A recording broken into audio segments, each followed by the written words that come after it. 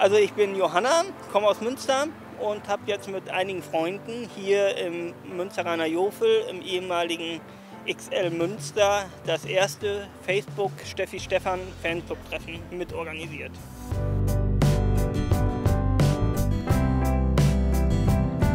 Wir haben heute den Panikautor da, Willi Karkoska. Der hat die äh, Biografie von Steffi Stefan ge geschrieben. Da ist jetzt gleich eine Lesung im XL. Später haben wir dann noch äh, ein Udo Lindenberg-Double, was dann anderthalb Stunden noch Live-Musik bringt.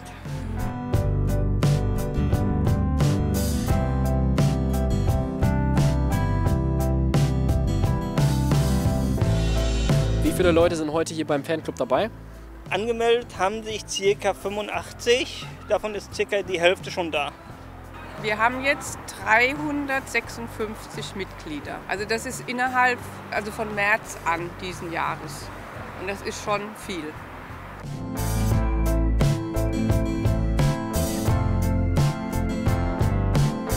Ja, durch die Konzerte eigentlich mit Udo kennengelernt.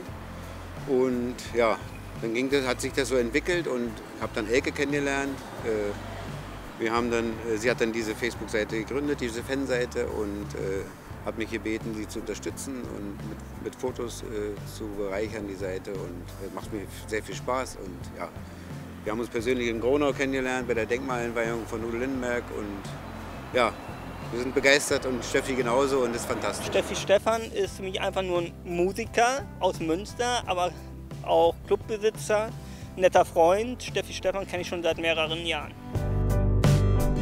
Ich habe eine besondere Beziehung zu Steffi, weil 35 Jahre prägen ein. Und in dieser Zeit ähm, ist Steffi Steffi geblieben.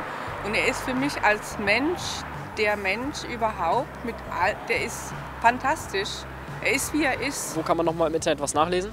Am besten dann über steffi.funmusic.fm. Ich werde das dann später auf die Facebook-Seite umleiten.